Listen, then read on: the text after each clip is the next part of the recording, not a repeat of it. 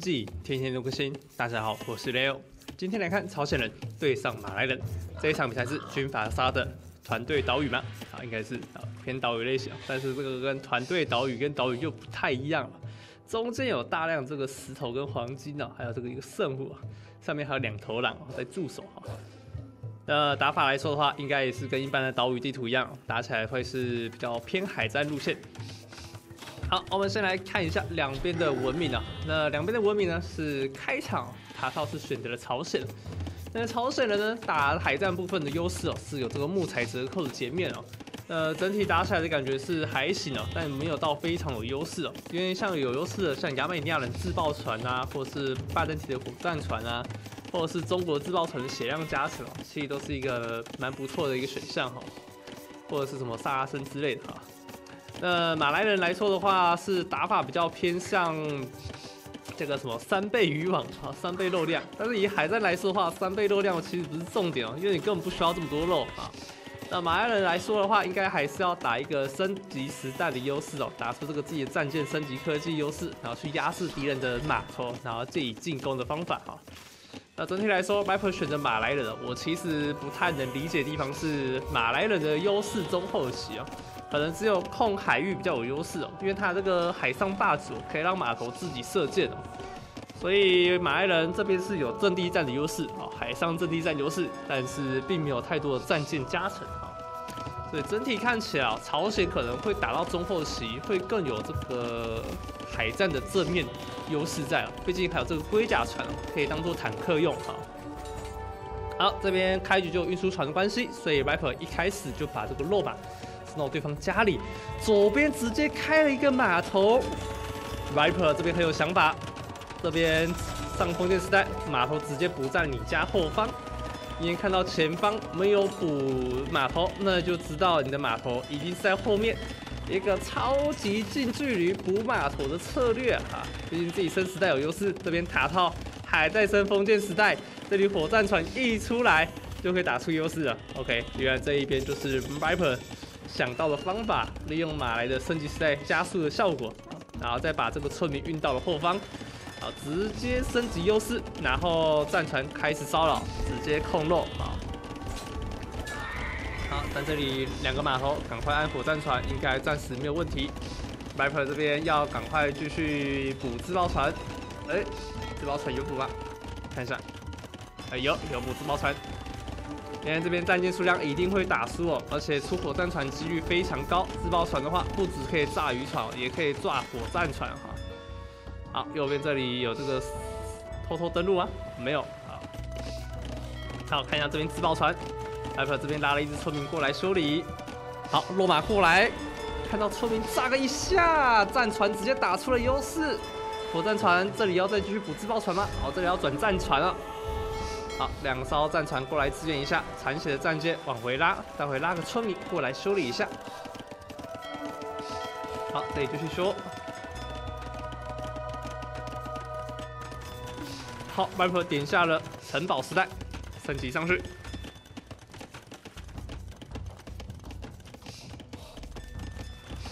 好，升级好，这边一上去之后，塔套这边有战舰数量的优势，这边要尽可能保存自己的战舰数量，待会升到弩炮战船，才可以打出更多优势来。那现在塔套还需要点下一级色才行，应该要先升级时代，再点一级色了啊。好，现在时代上 Viper 明显是有优势，但是战舰数量是没有优势的状况，而且渔船啊补的有点多，补到六艘渔船哈。六艘也没到非常多就是了，跟六四六八啊，记得这个这些数字就好了。好，好，这边一上去，快升级一下弩炮战船。左边的三艘渔船被抓掉，后方的战舰来不及升级就开战起来，这对 Rapper 来说不是一件好消息。明明自己有升时代上的优势，却在升级好战船之前就跟对方开打啊，这一点相当不是好事啊！尴尬了，现在战船好像也没什么打赢。后方战船过来互贴，火战船直接烧掉了两艘战舰，第三艘、第四艘一艘一艘烧掉。后方的渔船快要守不住了，好，下方的渔船还在追逐。自爆船往后追，渔船冲啊冲啊，爆破船！这边爆破船要是能炸到的话，就起飞了。好，这边也升到弩炮战船，朝鲜的弩炮战船，马来人是选择了火战船。好，那目前还是要先补经济，但是 Viper 陆战有点有骚动，这边打一个伸头战术，僧侣配投石车。好，现在陆战也开始搞事，Viper 利用生时代的优势，赶快补下了这么多的科技，难怪海战有点打不太赢的感觉，把太多木头投资在陆战上了。好，中间也补下了这个码头，偷偷捕鱼。塔涛这里有意识到，哎呀，被烧掉了一艘渔船，第二艘活了下来。好看一下陆战部分，僧侣能够活下来吗？没有办法，糟糕了。僧侣第二只出来，赶快招一次。哇，结果一出来，直接想要预判，被塔涛一个预判闪过。再砸个一发，第三刀没有直接砍下去。塔号这边细节做的很好，落马直接击杀了僧侣，但是 Viper 投石车也同时砸掉自己的村民啊，尴尬了。现在只剩下一台投石车在岛上。好，Viper 这边点下了织布技术，没有织布技术，泰隆被砸死了，赶快补一下。好，美影去登岛，但是却没有补织布技术，就有点尴尬了。好，那塔涛这边是有补织布技术的，两边村民数差不多啊，都是五十村左右。但是塔涛这边是四十村配十一艘渔船啊。以村民数来说的话，Viper 是有数量上的优势，但 TC 开农，塔涛这边是才刚补下第二个城镇中心。好，那目前海战来说的话，是塔涛现在是有战舰的数量优势。那 Viper 这边呢，则是后方的渔船全部被烧掉了，一艘渔船都没火，只能转成陆战了，开始撒农田。好，那这边要注意的是，Viper 要就要不要继续打陆战呢？还是就放弃这边岛上的进攻？好，专心升时代，然后升帝王时代，再继续打一个盖堡登陆战啊，也是可以考虑的一个范围啊。好，Viper 这边并没有这样想啊，决定是要开码头。回打陆战，回打海战，待会找个机会再点下海上霸主。哦，这个战爪刀勇士有想法吗？按了一只，没有继续按，啊，拿来当伺候用哦。看个图。好，这边城堡盖好之后，待会 Viper 从这边过去了就很方便了。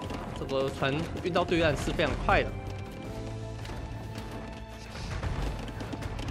那这张地图啊，其实打起来有点像是宝贝球地图啊，这个宝可梦里面的神奇宝贝球啊，啊，这个外形的一个一颗球啊，所以我们应该也可以把这张地图称为宝贝球，宝贝球图啊，有有有点难念就是了啊。好，后面两艘残血的战舰要不要往后拉呢？还是要往前补一下血量啊？这个血量没有办法补。好，右边有武村过来搞事了。那唐朝这个文明是朝鲜马战车的话，压制力很强大啊。如如果能在岛上盖吃一个城堡的话，就可以产出这个马战车，马战车就可以做到很多事情。但是马战车又很怕僧侣，马来人的僧侣呢是基本上全满的啊。而且僧侣来说，马来人是非常强的，所以。升级时代又快，所以出马战车能不能打出优势的，是蛮蛮不好说的啊。好，先砸死一村，Viper 点下轮轴技术，右边盖了一根箭塔，结果不是要来盖堡，而是要来盖箭塔扣木头吗？这边塔超有意识到 Viper 的左边的木头已经挖完了，待会要势必往右边开始挖啊，这些木头，只要能控到木头的话。这样对于海战自己来说优势会非常大哈。这个城镇中心打得很辛苦。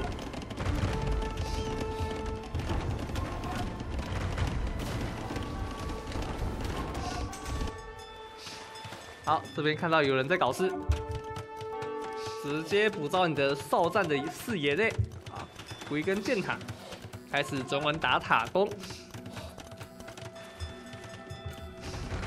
呃，白普这边的目标，看要不要赶快升到帝王时代，喊巨型投石机来拆这些违建。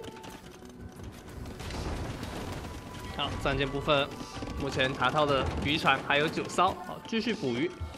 这些渔船哦，四处围海啊，围四处围家啊，哪里被骚扰就赶快跑掉，跑到另外一边，再补下新的码头，这样的渔船就可以继续捕这个鱼肉了。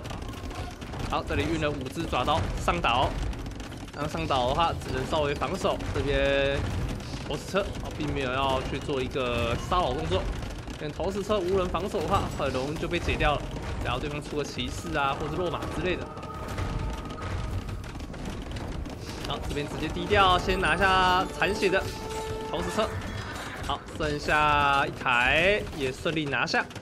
塔涛这边顺利的解掉投石车的问题。好，右边这个箭塔插过来，直接插到了城堡上。哇，这个城堡盖起来，两根箭塔顺利拔掉。这只村民可能会死哦。呜啊，死了一村。白克点下了帝王时代。对，右边这里又补了一个修道院，要来捡生物啊。那岛上还有个生物，白克应该有这个主动权，可以捡到这个生物才是。好，后面抓到，抓了几只村民，哎，不是抓几只村，抓掉了后方骑士跟爪刀勇士，村民没有抓到。那目前九十村打七十五村，村民差距二十五村。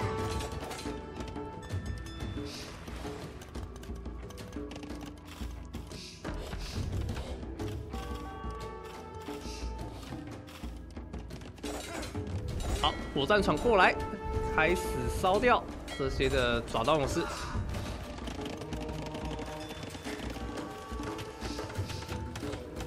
左边一个登陆，哇，这边近距离登陆就很方便了。白 r 这边已经想好这边该怎么打登陆战，直接上岛开城堡，然后要转巨型投石机。但是塔套这边也是有火炮的，马来也有，两边都是有火炮。呃，中后期两边都是要打阵地战情况哦。马来人还有个优势哦，自己的大象很便宜哦。如果真的陆战要全面进攻的话，也可以考虑直接回转渔船开农啊，这个三倍鱼肉开始捕鱼，然后转出这个六五折大象，好像是六五折，三十五 percent 应该是六五折啊，对。好。这里是点下了一级色弹道学，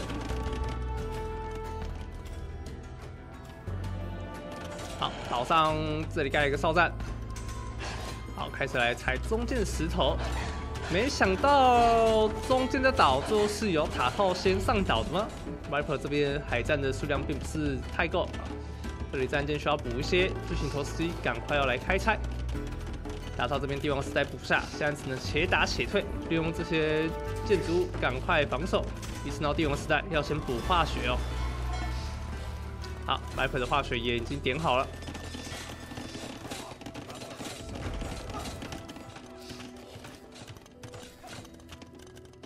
好，生物一个一个减掉，现在有两个生物。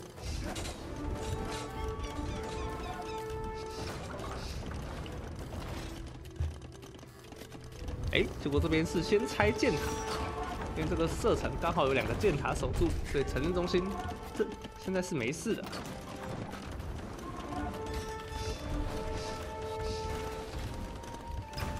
好，这里用火烧船烧一下，边对烧，重型火战船打火战船，但是重型火战船数量不够多，海战完全打不赢，而且朝鲜的箭塔越盖越多啦，这就有点麻烦了。跟箭塔只要点下火箭技术之后，打船伤害非常可怕。好，这个自爆船炸下，右边这边再炸了一波，炸到后方的火战船。好，火战船过来解救一下这边被骚扰的村民。好，这边直接往前推进，但是战舰数量还是劣势，Viper 还是以少击多，而卵击石。完蛋了，这边团结就是力量。Viper 虽然有时代上的优势，但是战舰一直没有打赢。好，但这边的箭塔都拆除完毕了，火炮也出来了。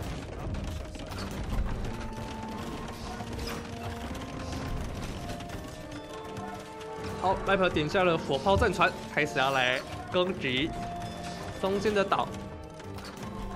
好，巨型投石机也补下。这边战舰火炮战船开始输出。这边火炮战船还不是精锐的，但一般来说还是可以用啊。一般的火炮战船。好，右后方有一波小打斗，Viper 绕背去烧渔船，成功也烧到了几艘，只剩下四艘渔船了。好，Viper 这边继续进攻，巨头也上岛，大型箭塔能够顺利活下来吗？好，大型箭塔防守伤很高，爪刀勇士上去开始骚扰。好，朝鲜终于有化学了，可以赶快产出火炮。好，这里火炮马上补了。谁把登陆战，Viper 打的有点硬。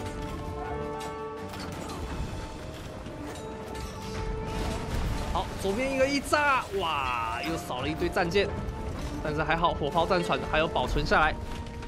好，火炮战船只剩下一艘。后方又来一个包夹，Viper 这边要小心。巨型投石机还没有架起来。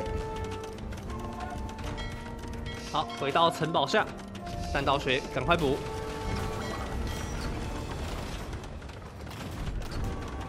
好，这边战舰暂时有优势来破中间岛上继续要来盖堡。巨型投石往前冲，聪明直接拉出来打架。这边重新拆除，完蛋。火炮打得很快，两台火炮输出。好来破看到对方转火炮，那我就转僧侣，反制方法相当明确。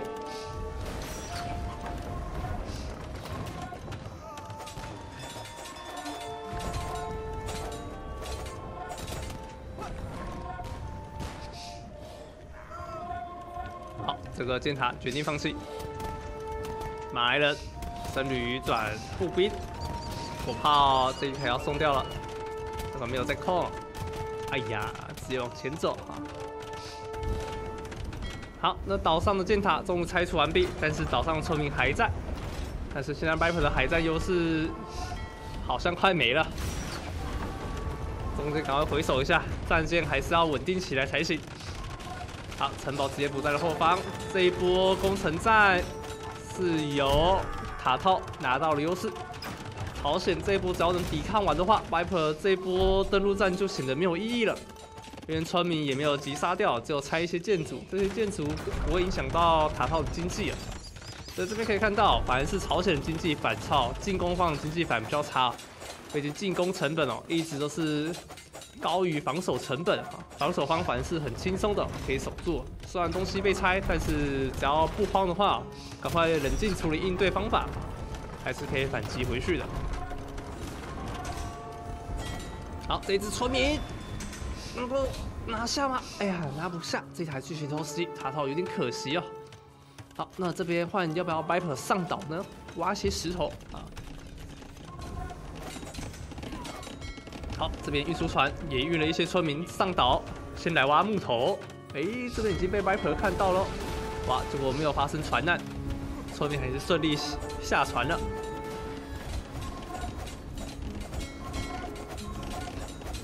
好，他到补下了战矛兵。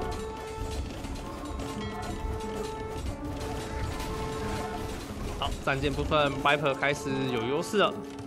那岛上的进攻，Viper 应该是挡不住。只有用爪刀勇士还是显得有点吃力。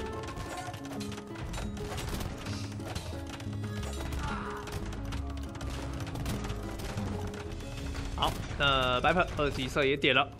现在岛上的状况并不是很好，这里上岛村民直接被爪刀给抓掉。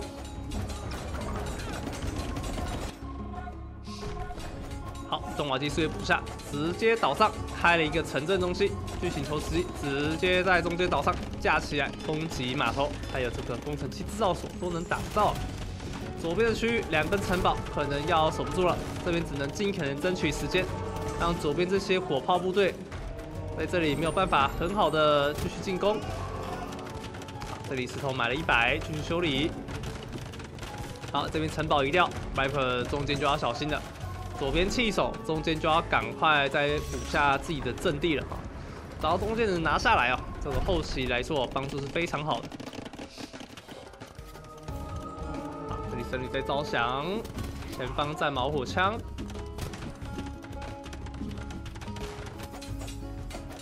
好，岛上的问题已经解决了。哎，这个后方有人偷偷盖码头麦克可能没有找到，现在没有时间去理，想赶快去从后方包抄后方的牧区。要不要转些弩炮战船呢？来夹杀一下这边的挖木头的村民。因为村民哦，越到越后面，一定会往右边这个牧区挖啊。所以 Viper 如果可以把右边的牧区控下来啊，说不定能提早结束。但左边这里牧区其实塔套也没有挖完啊。所以左右两边牧区都还是可以继续发展的有个情况啊。好，朝鲜人点下了造船术，造船员。好，待会船舰成本就会更便宜哦。朝鲜的折扣一直打折，一直爽。好，找到勇士过来解掉。码头能盖好吗？九十六点四三，没盖好。好，那战舰已经过来支援了。好，直接补一下。好，变成自己的码头。好，Viper 点下造船员，重型弩炮战船升级，僧侣第一时间被点掉。OK，这边爪刀一上岛就被大石箭塔射到头破血流，基本上只抓掉了一村就全部倒地了。这一波 Viper 贼亏。好，朝鲜人点下了火箭技术，有火箭之后，这个箭塔打船舰伤害就非常可观了。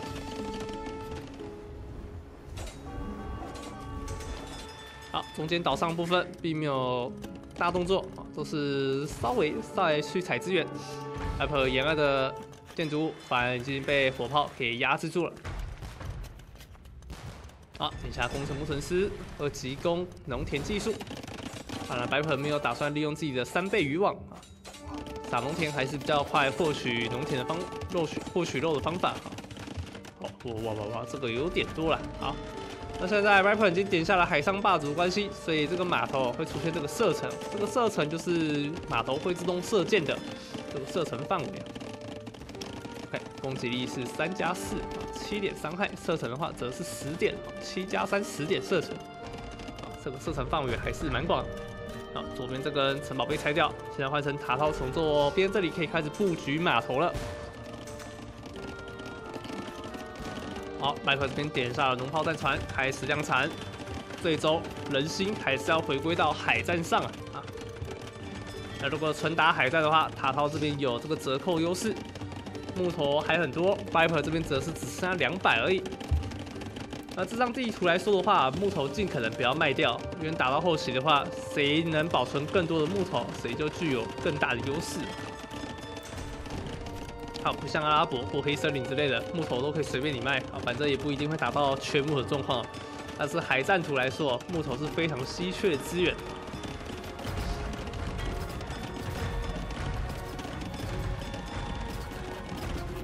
好，中间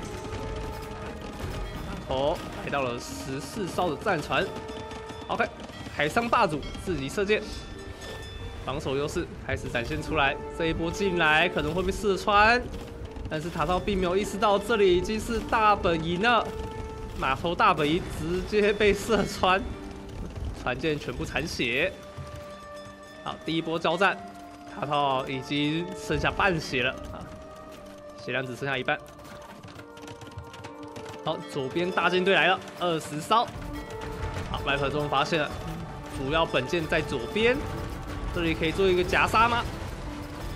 好，这里并没有马上回头，先回到自己的阵地之后再开始打。队友带到这个重型火弹船，攻击速度太快了，每一秒都是三点伤害啊！哦，每一下不是每一秒。好，那马来人点下了手推车，还有瞭望技术，增加一下视野。最终还是要回到海战，两边海战打起来，Viper 会有优势啊。现在 Viper 没有时代上的优势，只有控图、控海图的优势。好，两边战舰在这个窄口打，开始开打。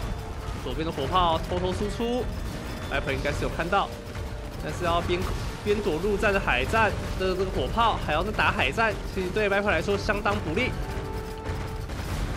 好，Viper 这边点下了精锐爪刀勇士的升级。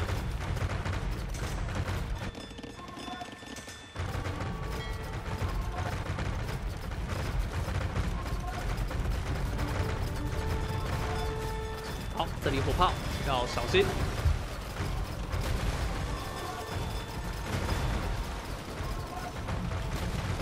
好，目前看到战船部分是来到了三十二艘，三十二艘主炮战船。朝鲜人是五十一艘，折扣优势明显打出来了，真是打到骨折啊！啊，赶快偷点一下弩炮、弩炮，弩炮能点掉的话就很赚。这里想要偷盖箭塔，Viper 直接射掉了一只村民，第二只有机会吗？搞定，三只，偷点一下，偷点一下，拉两只去偷打下村民就好。这面的海战好像快要打不赢，但是 Viper 有这个。广域，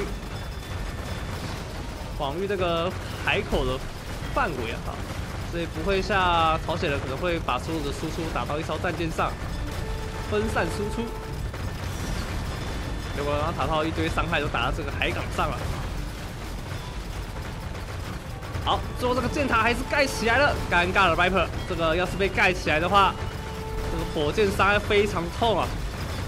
哇，这个战舰直接被秒杀。哇射个三发，船就受不了了。火箭技术就是这么的可怕。还好后面有一台巨型投石机，赶快补。好，外婆也点下了火箭技术。这里码头啊，射人才会痛。好，外婆现在八十个人，大肆踩木头。但是塔套这边有个小动作。好，后面插偷偷插箭塔。靠你木头，我也行。好，左边的木头目前暂时没那么多人在挖掘。呃，朝鲜这边是有大罗马的文明，还是要升级一下大罗马，用这个大罗马去岛上骚扰一波呢？要不要补一下肉马？没有补肉马，是补了射箭场啊。好，麦克这一波上岛，结果大师金台还是很痛。好，这边休息一下。有点快要裹不住。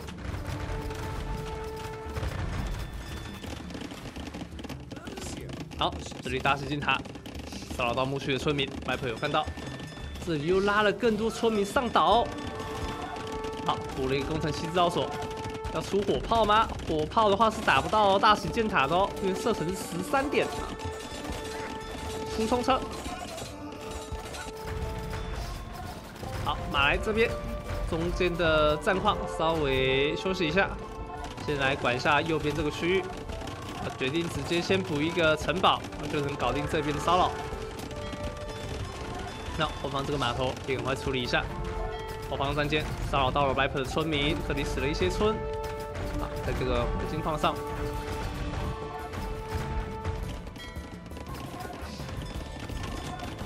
好就补了一根箭塔，这个箭塔不能再被盖起来了，再被盖起来就很头疼。但是没有毒炮战舰，又被盖起来了。好，这里要按台巨型投石机，先拆一下右边的箭塔。好，海战暂时没事。现在塔炮一直很想要跟对方打海战，他说：“你过来啊，我要跟你打海战呢。”麦克表示：“我先修一下，我战舰数量比较少，休息一下。”哦呦，这边又开打，Viper 这边全部聚在一起，火炮直接砸了一发，大量战舰直接残血，火炮这里打到了成吨的输出啊！哇，这个损伤已经打了两万三千的低点伤害啊！火炮的输出太可怕了，这个火炮真的要小心啊！火炮不注意的话是可以击杀大量战舰的。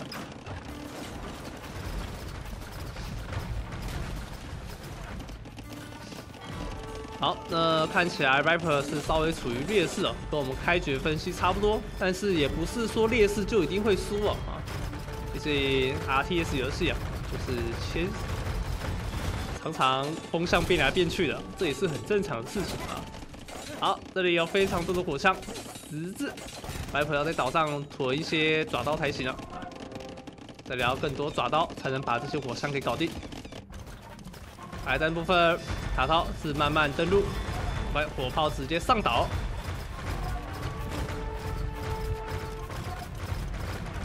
好，但是中间这个矿没有拿下来的话，对于 Viper 来说就是一件好事。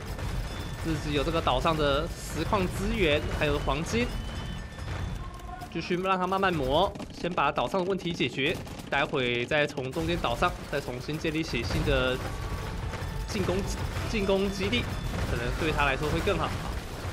好，两台火炮现在受于弩炮战城保护下，这些爪刀能够躲掉吗？V 阵、Z 阵、V 阵、D 阵，好，想要躲掉，但是最后还是上了运输船撤离。好，找到还是要回头处理一下这边十支火枪，这火枪快要把修道员给射倒了。好，火枪开始往前走了，巨型投石机。架起来进攻火枪兵，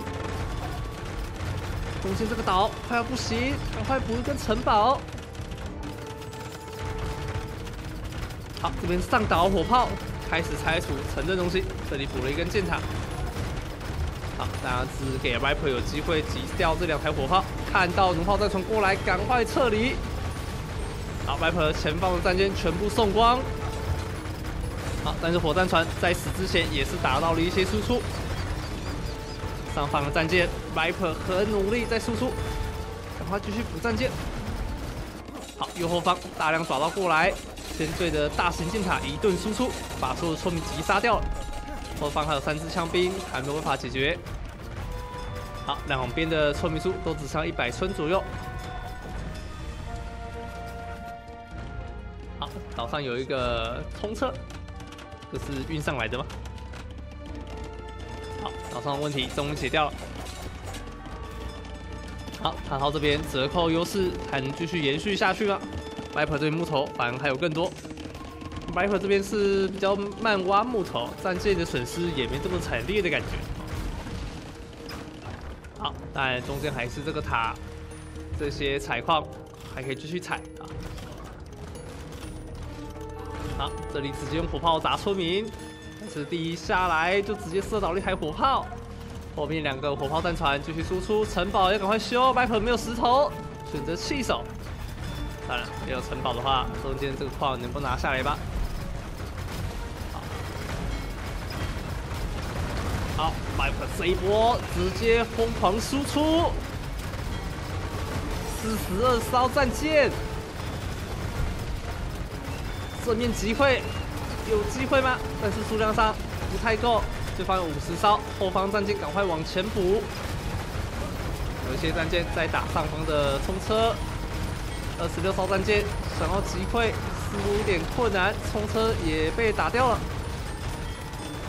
白牌这边要撤吗？你撤离的话，就是继续进攻。哎呦，结果朝鲜人这边的战舰数量变少，但是这里已经进入了大型箭塔射程范围内。大型箭塔只要两发就可以集火一艘战舰，搞定一艘。哇，这个战舰被大型塔射头破血流。好，这里又补了一些爪刀上岛，处理一下火枪兵，一定要把这个黄金给控下来。但是塔套黄金已经归零了，黄金归零的情况下，你有办法继续展产出这些战舰，战舰会越来越劣势。好，但这边村民有很多，还是要直接手撕呢？守尸箭塔如何？但是如果手撕箭塔，Viper 也会没有黄金。啊，边打到最后一兵一卒，黄金归零，Viper 黄金也归零，两边都是处于同样的状况。这边再来一个上岛，一台巨型投石机，救命巨头，快架起来！巨头能够架起来的话，就有希望。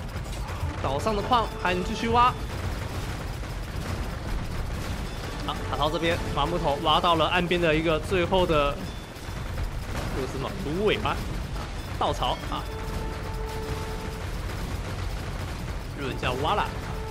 OK，这个挖啦最后也没了，搞定。